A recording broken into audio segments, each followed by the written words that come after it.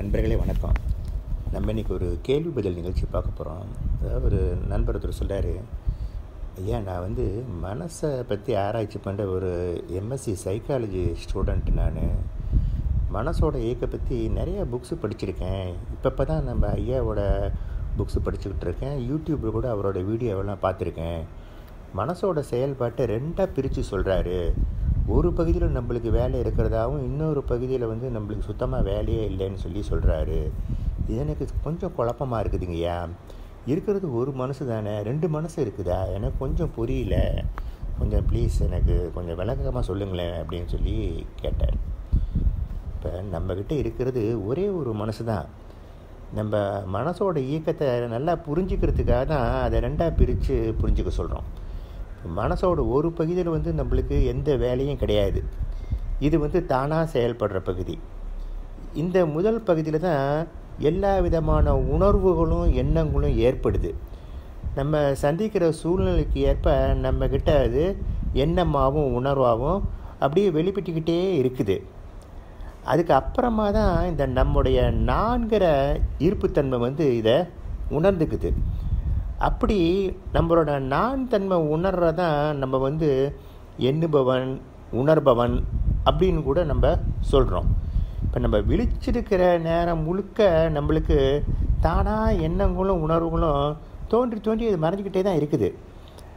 அதுக்கப்புறமா வர அதை உணர்கிற அந்த எண்ணுபவன் உணர்பவன் அப்படிங்கிற அந்த நான் தன்மை கூட தானாக தோன்றி தோன்றி மறைய இயக்கத்தின் ஒரு பகுதியை சேர்ந்தது தான் இந்த இடத்துல நம்மளுக்கு எந்த வேலையும் இல்லை அப்படிங்கிறத நம்ம நல்லா புரிஞ்சுக்கணும். இது முழுவதுமே இமோஷனல் பார்ட்டு அதாவது பார்ட் ஒன் முதல் பகுதி இது தான் இது இதுதான் நம்ம முதல் பகுதின்னு சொல்கிறோம் அடுத்தாப்பில் நம்ம மனசோட ரெண்டாவது பகுதி வந்து அறிவு பகுதியாக இருக்குது. இந்த ரெண்டாவது பகுதியை வந்து நம்ம இன்டலெக்சுவல் பார்ட் அப்படின்னு சொல்லி சொல்கிறோம் இந்த ரெண்டாவது பகுதியான அறிவு பகுதிக்கு முதல் பகுதியில் வந்து சுத்தமாக வேலை கிடையாது. இப்போ முதல் பகுதி வந்து நம்ம உடல் உறுப்பில் உள்ள அக இயக்கத்தை மாதிரி தான் இயங்கிட்டு இருக்குது. இப்போ எப்படி உடல் இயக்கத்தில் வந்து ஒரு தானியங்கி மண்டலமாக இருக்குது இந்த ரத்த ஓட்டம் வெப்ப ஓட்டம் காற்று ஓட்டம் நுரையீரல் ரத்தம் இது மாதிரியான செயல்போடு தான் இது இருந்துகிட்ருக்கு இது தானாக நடைபெற ஒரு இயக்கமாக தான் இருக்குது இப்படி தானாக நடைபெற ஒரு மன இயக்கத்தை நம்மளால் உணரத்தான் முடியுமே தவிர நம்மளால் வேறு எதுவுமே செய்ய முடியாது. நம்மளோட மனசோட ரெண்டாவது பகுதிக்கு தான் நம்மளோட அறிவு செயல்படுறதுக்கு வாய்ப்பு கூட இருக்குது இப்போ இந்த முதலாவது பகுதியில் நம்ம உணர்ந்த எண்ணங்கள் உணர்வுகளுக்கு நம்ம அறிவு பகுதியால் ஒன்றும் செய்ய முடியாதுன்னு சொல்லி பார்த்தோம். இப்போ முதல் பகுதியில் ஏற்பட்ட இந்த எண்ண உணர்வுகளுக்கு இந்த ரெண்டாவது பகுதியில் அறிவின் துணையை வச்சு சிந்தித்து செயல்பட முடியும். இப்போ புற செயல் ரீதியாக என்ன செய்யலாம்? எப்படி செய்யலாம்? அதுக்கு தேவையான ஆலோசனை பெறுறது. இது மாதிரி எல்லாத்துக்குமே இந்த ரெண்டாவது பகுதியான அறிவை பயன்படுத்தி நம்ம செயல்படுத்திக்கலாம். முதல் பகுதியில் ஏற்பட்ட எண்ண உணர்வுகளை ஒரு தூண்டுகோலாக கூட நம்ம எடுத்துக்கிட்டு அது தேவையான புற செயலுக்கு அதை பயன்படுத்திக்கிட்டு இந்த ரெண்டாவது பகுதியான அறிவு பகுதியில் நம்ம பயன்படுத்திக்கலாம். இப்போ ஒரு எளிமையான உதாரணத்து மூலமாக நம்ம அடுத்தாப்பில் இந்த முதல் பகுதி ரெண்டாவது பகுதியெல்லாம் எப்படி செயல்படுது அப்படிங்கிறத நம்ம நாளைக்கு பார்க்கலாம். நன்றி வணக்கம். நண்பர்களே வணக்கம். நம்ம வந்து இந்த மனசோட செயல்பாட்டை பற்றி கேள்வி பதிலில் பார்த்துக்கிட்டு இருக்கோம். மனசோட முதல் பகுதி வந்து இமோஷனல் பார்ட்டு அங்கே நம்மளுக்கு எந்த வேலையும் கிடையாது. மனசோட ரெண்டாவது பார்ட் வந்து இன்டலெக்சுவல் பார்ட்டு அங்கே தான் நம்ம அறிவுக்கெல்லாம் வேலை இருக்குது அது ஒரு உதாரணத்தில் கூட பார்க்கலான்னு சொல்லி நம்ம பார்த்தோம். இப்போ வந்து நம்மளுக்கு நெருங்கிய நண்பர் ஒருத்தர் வந்து அவர் ரொம்ப உடல் நலத்தில் தீவிர அக்கறை இருக்கிறவர் தான் உடல் நலத்துக்காக எல்லா பயிற்சியும் முயற்சியும் மேற்கொண்டு உடலை ஆரோக்கியமாக வச்சுருக்கிற நபர் ரொம்ப இளமையாக கூட அவர் தோற்றம் அளிப்பார். எதிர்பாராத விதமாக அவருக்கு உடல்நலம் குறைக்காரமாக மருத்துவமனை அனுமதிக்கு அனுமதித்து தீவிர சிகிச்சை ஏற்பட்டு அதுக்கப்புறமேட்டு வீட்டுக்கு வந்திருக்கிறாரு. இப்போ நாம் வந்து அவரை நலம் விசாரிக்க போகிறோம் இதுதான் இந்த நிகழ்ச்சின்னு வச்சுக்கோங்களேன். இப்போ அவரோட உடல்நிலையை பற்றி கேள்விப்பட்டதுக்கப்புறமேட்டு இவ்வளவு ஆரோக்கியமும் பயிற்சியும் மேற்கொண்ட இவருக்கே இப்படி உடல்நலக்கு எப்படி ஏற்பட்டுச்சு அப்படின்னு சொல்லிட்டு ஒரு எண்ணம் நமக்கு வருது. இப்படி அவரோட உடல்நிலையை பற்றி என்ற அதே சமயத்தில் நம்ம வந்து நம்மளோட உடல் ஆரோக்கியத்தை பற்றி கூட நம்ம எந்த பயிற்சி முயற்சியும் இல்லாமல் இருக்கிறது. தானாக நினைவுக்கு வருது. நாம் ஆரோக்கிய உணவு பழக்கம் கூட கடைப்பிடிக்காமல் இருக்கிறது ராத்திரி ரொம்ப நேரம் கண் விழிச்சிட்டு தூங்காமல் இருக்கிறது. இப்படி நம்ம வந்து நம்மளை பற்றி கூட நம்ம மனசை அப்படியே எடுத்து காட்டிக்கிட்டே இருக்குது தானாக இப்படி நம்ம நிலை என்னங்கிறத நம்மளுக்குள்ள பலவிதமான எண்ணத்து மூலியம் உணர்வு மூலியம் நம்மளையும் அறியாமல் நம்ம மனசு வந்து தானாக வெளிப்படுத்த ஆரம்பிச்சிருக்கு. இதுதான் நம்ம மனசோட முதல் நிலையோட செயல்பாடு இமோஷனல் பார்ட் நம்மட தோன்ற இந்த எண்ணம் உணர்வுகளை நம்ம என்ன செய்ய போகிறோம் சொல்லுங்கள் இப்படி நமக்கு தோன்ற எ- எண்ணம் உணர்வு அதைத்தான் வந்து நமக்கு தோன்றதாக நினச்சிக்கிட்டு நம்ம எண்ணுபவன் உணர்பவன் இப்படின்னு சொல்லிட்டு நம்ம நினைக்கிறோம். இது நம்ம மனசோட முதல் நிலையாக இருக்குது. இப்படி மனசோட முதல் பகுதியில் ஏற்படுற இந்த எண்ணங்களுக்கும் உணர்வுகளுக்கும் நம்மளோட ரெண்டாவது பகுதியான அறிவால் வந்து ஒன்றுமே செய்ய முடியாது.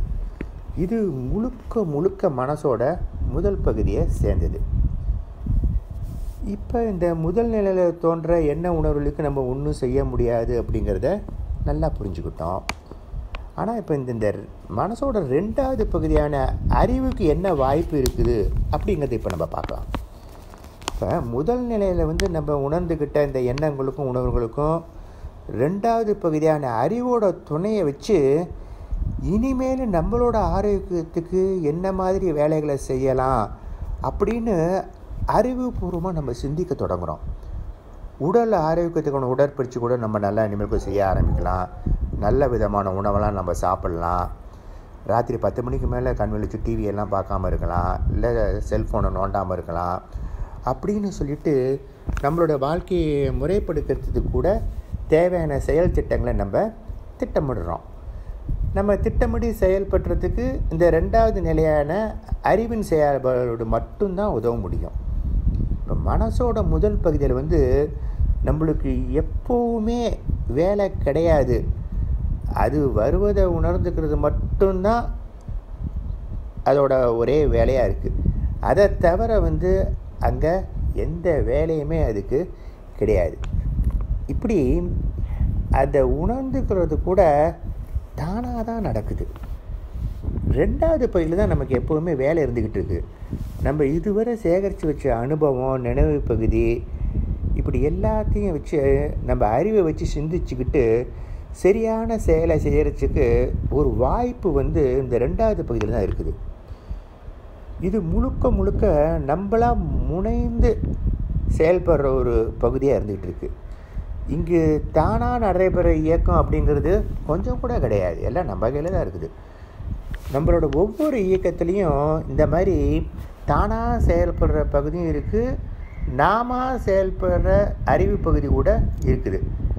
நம்மளுக்கு புற திட்டமிடல் தேவையாக இருக்குது செயல் எதுவும் தேவையாக இருக்குன்னா மட்டும் இந்த ரெண்டாவது பகுதியான அறிவு பகுதியை நம்ம பயன்படுத்திக்கலாம். செயல் எதுவும் தேவையில்லாத பட்சத்தில் இந்த முதல் பகுதி வந்து தானாக தோன்றியது மாதிரி அப்படியே தானாக அது அப்படியே மறைஞ்சு போயிடுது. அதனால் இந்த எண்ணம் உணர்வு அப்படிங்கிறதெல்லாம் முதல் பகுதியாகவும் அறிவுங்கிறது ரெண்டாவது பகுதியாகவும் இருக்குது முதல் பகுதி வந்து தானாக தோன்றி மறையிற ஒரு இயற்கையான இயக்கம் அப்படின்னு நம்ம வச்சுக்கணும். ரெண்டாவது பகுதிக்கு முதல் பகுதியில் எந்த வேலையும் கிடையாது. அதாவது இந்த அறிவுனால் முதல் பகுதியில் நம்ம எதையுமே பண்ண முடியாது. ரெண்டாவது பகுதியான அறிவுக்கு புறத்தை பற்றி சிந்திக்கிறதும் திட்டமிடலும் செயல்படுத்துறதும் தான் ஒரே வேலையாக இருக்குது அப்படிங்கிறத நம்ம நல்லா கவனமாக புரிஞ்சுக்கிறோம் நன்றி வணக்கம். அனைவருக்கும் அன்பான வணக்கம். ஸ்ரீ பகவத் ஐயா அவர்கள் நம்மோடு வாழ்ந்து கொண்டிருக்கும் ஞானி. இவரால் ஞான தெளிவு பெற்றவர்கள் பலர். ஒவ்வொரு மாதமும் வெளிவந்து கொண்டிருக்கும் பகவத் பாதை மாத இதழ் மாதந்தோறும் ஞானத் தெளிவு தரும் ஐயாவின் கட்டுரை அன்றாடம் எதிர்கொள்ளும் பிரச்சனைகளுக்கான கேள்வி பதில் ஞானத்தை எளிதாக புரிய வைக்கும் ஜென் கதை என அனைத்தையும் தாங்கி வந்து கொண்டிருக்கிறது. பகவத் பாதை தற்போது ஒளிபாதையாக திருச்சி குழந்தை நல மருத்துவர் டாக்டர் முத்துக்குமார் அவர்களின் உரையில் வெளியிட்டுள்ளோம். மேலும் ஸ்ரீ பகவத் மிஷனிலிருந்து சத்சங்கங்கள் ஞான முகாம்கள் நடைபெறுகின்றன. மேலும் விவரங்களுக்கு தொடர்பு கொள்ள